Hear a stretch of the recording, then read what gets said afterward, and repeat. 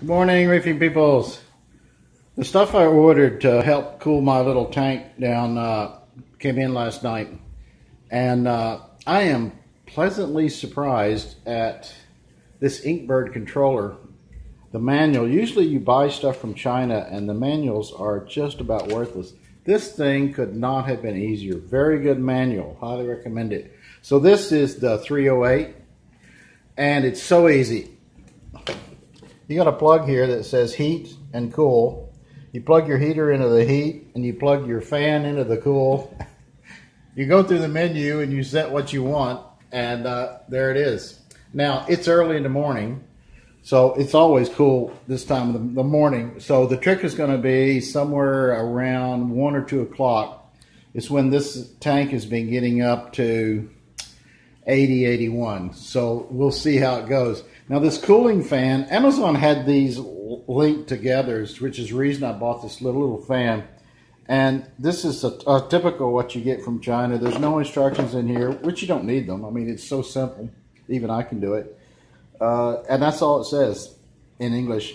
Waterworld WWF2. So we'll see. Uh, I'll wait a few hours and I'll, I'll take another video. Okay, it's now uh, 9.30 approximately. The first video I shot on this temperature control was uh, at 0500. So the fan came on. The temperature got up to 79. The set point is 78. The fan came on. I got it set on low for now. It's already dropped at 0.4 degrees.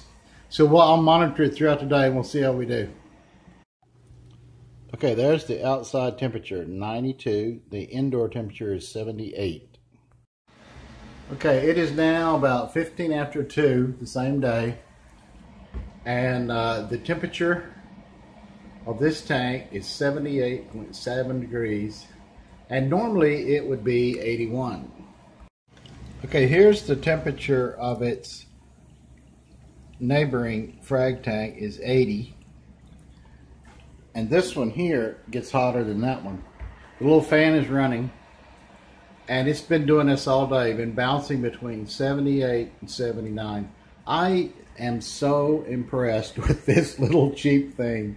It's uh this between this fan and that controller is 60 bucks. And all day long it's kept it at that temperature. Very impressed. I'll see you later.